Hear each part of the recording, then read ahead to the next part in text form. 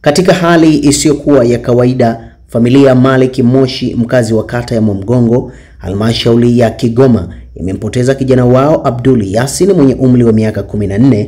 Hii ni baada ya jiwe kuporomoka na kupiga ukuta wa nyumba kutokana na mvua zinazoendelea kunyesha nchini. Yaani ni hapa hii line Ilikuwa ilikuwa imefichama kwenye udongo, ilikuwa kama hivi. ilivyojikata, wala mtu asingeweza kujua kama limejikata, lakini ni maji kutoka kule juu yakaingia kwa kati, ikabidi lijimegue kidogo, ndo likashuka. Hili jua lilimkuta marehemu hili. Yaani Marehemu alikuwa amelala pembeni huko. walikuwa watano, Watano. walikuwa wamelala hapo watu hao watano, tulala hapo watano. Bahati mbaya, bahati nzuri au bahati mbaya, ili jua likashukia pembeni. Ndio muua marehemu ilikuwa ni kifusi. Ah, kifusi. Eh, na kulingana na jana, kulingana na watu waliokuwepo, Ndio. wakatusaidia kile kifusi tukakitoa, tumekirunda sehemu fulani Hapo mmeshakipunguza. kubwa sana, yani hata kanyumba kote haka kachumba kalikuwa kamejaa, unaona mm. Kwa hiyo hawa waliokuwepo hapa walifanikiwa kuamka. Wote walikuwa wameanzia kwenda huko. Walitolewa na watu. walitolewa na watu. Ilikuwa kama saa ngapi? Ilikuwa saa tisa ya usiku Eh, wakati kifusi kinashuka, mlango ulibidi ukajifunga. yeah, yeah. Kutoka shida. Mmoja alikuwa alishatoka, walibaki wanne. Sasa yule wanne yeye akawa na bahati, akawa kung'ang'ania pale Eh, hapo mlango. eh, akashikia kwa juu. Unaona alivyopandia, akapanda pale akaruka. Hapa kabaki wamelala watu watatu, okay, okay. marehemu mwingine mwingine hapa, unaona. Sasa ile mpaka kufungua hapa tulivunja mlango eh, ikabidi tuvunje mlango ndio tukawahi tukaokoa watu wawili, mmoja kawa amefariki. Ila ile. Hapana. Hili litua pembeni, yani lingesema litue pale eh, wote wangeishi. Hali hii inamlazimu mkuu wa wilaya ya Kigoma Salum Kali kufika maeneo haya na kutoa pole kwa familia hii. Na nilete salamu za Mheshimiwa Rais wa Jamhuri ya Muungano wa Tanzania Daktari Samia Suluhu Hassan. Anawapa pole nyingi na anawaombea sana kwa wale ambao nyumba hapa, na taarifa zaidi ya nyumba kumi zimeanguka pamoja na hii ambapo tupo na imeleta majanga. Anawapeni pole sana Mheshimiwa Rais wetu wa Jamhuri ya Muungano wa Tanzania Daktari Samia Suluhu Hassan na serikali yake yote, lakini pia naomba mpokee salamu za pole za Mheshimiwa mkuu wetu wa mkoa wa Kigoma, kamishina Jenerali mstaafu wa Jeshi la Zimamoto na Uokoaji, Mheshimiwa Tobias Andengenyi. Anawapa pole sana na angeweza kuja hapa na kamati ya usalama ya mkoa, lakini kuna maeneo mengine kama hapa yamejitokeza baada ya mvua ya juzi kuamkia jana. Kwa hiyo anawapa pole na anawaambia pia mwendelee kuwa na moyo wa subira kwa hili ambalo mtoto wetu ametangulia mbele za haki, lakini pia tuendelee kuchukua tahadhari kwa sababu mvua ndo kwanza zimeanza. Kwa hiyo wale ambao mnajua mmejenga kwenye mabonde, mikondo ya maji, wale ambao mnajua mmejenga mahali ambapo pengine maji yanakaribia, sasa tuone kwamba tunaweza kuchukua tahadhari ili majanga mengine yasitokee kama ambavyo yametokea hapa. Sana ndugu zangu, mimi nimpe pole ndugu yangu Mushi Yasin kwa kuondokewa na mtoto wetu Abdul Yasin.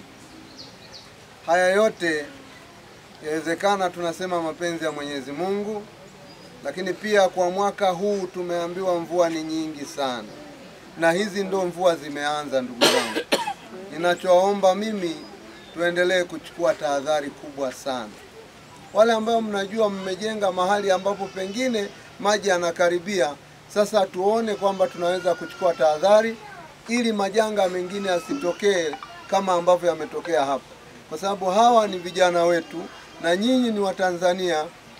Leo yanapojitokeza haya, tunapoteza nguvu kazi, tunapoteza Watanzania wenzetu, ambapo tungeweza kuchukua tahadhari, tungeweza kuyazuia haya. Kwa hiyo mjue, ofisi yangu ya mkoa wa wilaya ya Kigoma nikiwa na kamati ya usalama ya wilaya, lakini tukiongozana na mwenyekiti wa Chama cha Mapinduzi wilaya yetu, katibu na mwenezi na viongozi wengine, akiwepo kaimu mkurugenzi wa halmashauri ya Kigoma na wakuu wa idara, tuko hapa ili kuungana nanyi kwa majonzi haya ambayo kijana wetu ametangulia mbele za haki, lakini kuja kuwapa pole kwa nyumba ambazo zimeharibiwa na mvua kubwa hii na kuwaomba tuchukue tahadhari asijitokeze tena, ili tuweze kunusuru mali sisi wenyewe, mkae mahali ambapo huenda baada ya mvua tutaona nini tunaweza kujifanya e, kufanya katika maeneo hayo ambayo tayari athari zimetokea. Lakini lingine kwa wale ambao nyumba zao zimevunjika kwa maana ya kubomoka, basi kwa wale wenye nafasi na eneo lao ni zuri zaidi, naomba mwasitiri wenzenu kadiri ambavyo mtajaliwa. Mko ndugu kwa ndugu, lakini mko jamaa wa karibu.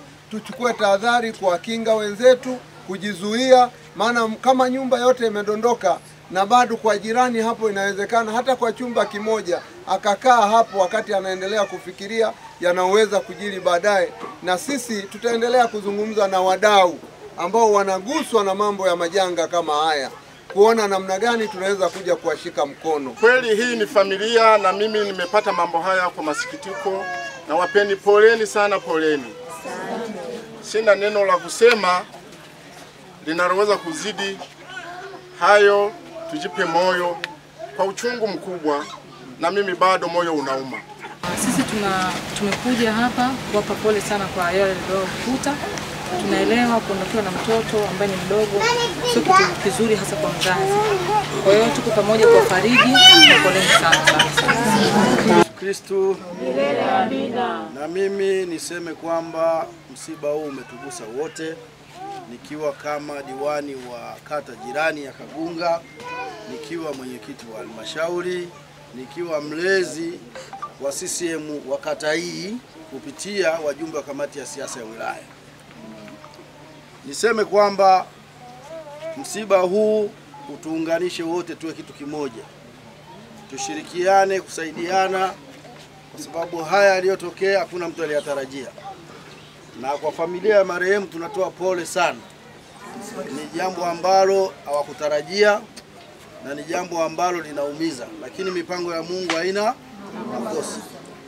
Tuseme tunaendelea kuwapa wananchi tahadhari, kwa sababu mvua bado zinaendelea, na nafikiri ndugu yetu ambaye jiwe liliporomoka pale, kwa sasa nafikiri ilikuwa ni vizuri muhame kwanza, kwa sababu mvua bado zina zinaendelea kushuka. Kama lile jiwe kubwa ndio lilikuwa limeshikilia udongo, mvua nyingine ikiendelea inaweza ikashusha udongo mwingi zaidi, katokea madhara makubwa zaidi. Msiba huu hatuhusu sisi wote, nasema poleni sana sana.